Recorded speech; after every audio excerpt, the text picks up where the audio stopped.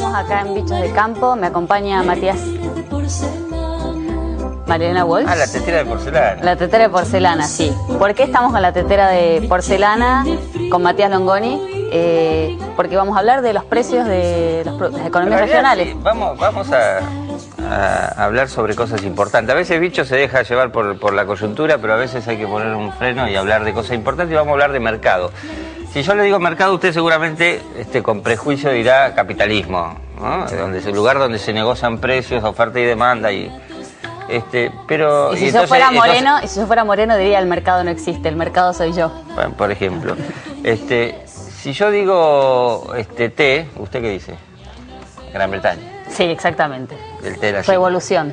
Bueno, fíjese una cosa, ¿y por qué toda esta introducción? Este, porque la gente no sabe, pero Argentina es el noveno productor mundial de té. Noveno productor mundial de té, por supuesto, ahí adelante tiene países asiáticos, China, Sí. India, Sri Lanka, este, un montón de, digo, de la tradición este, del, del té asiático. Este, pero Argentina no es un. produce casi 400.000 toneladas de brote verde, que es decir, lo mismo que se exportó en carne en un buen año, lo produce en té, no es poca cosa, no en volumen. De eso queda, una vez hecho convertido a té negro, este, que, que la mayor parte de. que un proceso industrial de secado, quedan 91.000 toneladas, esto en 2011, según datos oficiales, como para que nadie me acuse de mentir. Este, y de esas 91.000 toneladas se exportan 86.000. Acá solamente quedan 5.000. O sea que el tema más o menos es como la soja, Sí. De alguna manera. 95 tiene un destino de mercado de exportación porque aquí el consumo de soja o de té, eh, digo, es limitado y entonces sobra por todos lados. donde- Entonces, mire, mire este paralelo. El té es parecido a la soja en ese sentido, por supuesto volúmenes mucho más chicos, pero finalmente una relación donde el precio del producto lo pone en el mercado internacional. ¿Está claro? Sí. Ahora, ¿quién produce té? Como en el caso de la soja, donde hay pequeños, grandes jugadores, pero hay muchos, eh, hay 6.000 productores de té que en general son minifundistas, este, hay algunos grandes, por supuesto, la Virginia o algún otro, Sí. este, pero son minifundistas de, son los mismos que producen yerba. Eh, eh, en general son pequeños colonos misioneros y del norte de Corriente que diversifican un poquito de tabaco, un poquito de...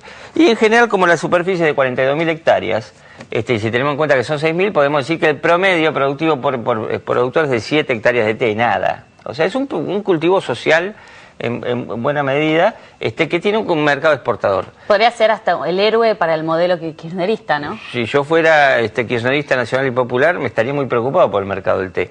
Ahora, ¿quién define el precio del té? Si- siento que es un, un cultivo... No hay mercado del té. Usted no, no va a, a- a Misiones y está el mercado del té, donde los productores ofertan su cosecha y Sí. hay alguien que compra. ¿Quién lo define? Hay seis exportadoras. Tres de ellas concentran el 86%, con lo cual también está concentrada la exportación, la demanda de Sí. té. ¿Quién lo define? El mercado externo.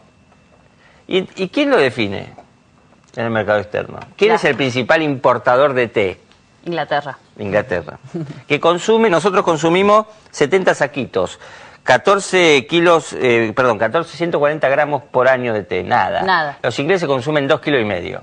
Claro. ¿eh? Con lo cual, ellos definen el precio del té. Y ellos son los que definen que el té argentino es un té de segunda.